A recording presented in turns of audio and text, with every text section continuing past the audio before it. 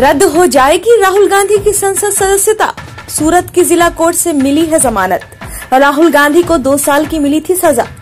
वायनाड से कांग्रेस सांसद राहुल गांधी को प्रधानमंत्री मोदी के सरनेम को लेकर किए कमेंट के मामले में 23 मार्च को सूरत की डिस्ट्रिक्ट कोर्ट ने सजा सुनाई है।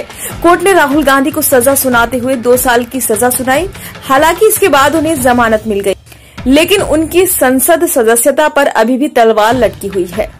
कोर्ट के फैसले के बाद कई नेता राहुल के समर्थन में आ गए हैं। अब सबसे बड़ा सवाल यही है कि क्या राहुल गांधी की सदस्यता को लेकर भी कोई एक्शन लिया जाएगा?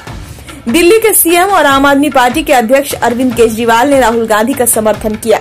उन्होंने आरोप लगाया कि गैर बीजेपी नेताओं और पार्टियों पर मुकदमे करके उन्हें खत्म करने की साजिश हो रही है। केजरीवाल ने कहा कि हमारे कांग्रेस से मतभेद है, मगर राहुल गांधी को इस तरह मानहानि मुकदमे में फंसाना ठीक नहीं है। उन्होंने कहा कि जनता और विपक्ष का काम है सवाल पूछना। हम अदालत का सम्मान करते हैं, लेकिन हम इस निर्णय से असहमत हैं।